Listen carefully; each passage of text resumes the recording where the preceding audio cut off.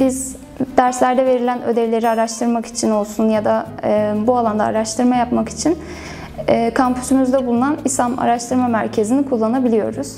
Ders döneminde hocalarımızın verdiği e, çeşitli ödevler oluyor, bizleri yönlendirecek. Aynı zamanda bölüm içerisinde temel İslam bilimleri e, alanları ile ilgili sadece tefsir alanının değil, e, diğer alanları da kapsayan bir dersimiz var. Bu derste özellikle e, genel anlamda tefsir e, ana bilim dalı değil de İslami ilimlerle ilgili ödevler alıyoruz ve bu ödevleri eğer gerçekten güzel hazırlarsak tabii ki bunların yayınlanması söz konusu.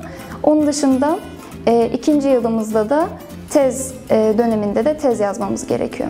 Tefsirin neliğine dair aklımdaki sorular nedeniyle ve bu alanda gerçekten derinleşmek istediğim için, bu alanda ilerlemeyi, çalışmayı düşündüğüm için ve e, Kur'an'la olan Kur'an'la olan bağımı bu şekilde perçinleyebileceğimi düşündüğüm için tefsir bölümünü tercih ettim.